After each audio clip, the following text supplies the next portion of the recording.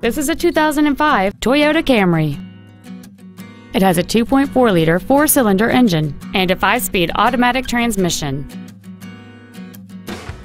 Its top features include a power driver's seat, cruise control, a rear window defroster, a CD player, a passenger side vanity mirror, an anti lock braking system, a keyless entry system, and folding rear seats.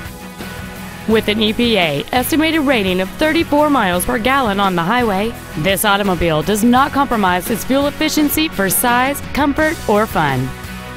This sedan has had only one owner, and it qualifies for the Carfax buyback guarantee.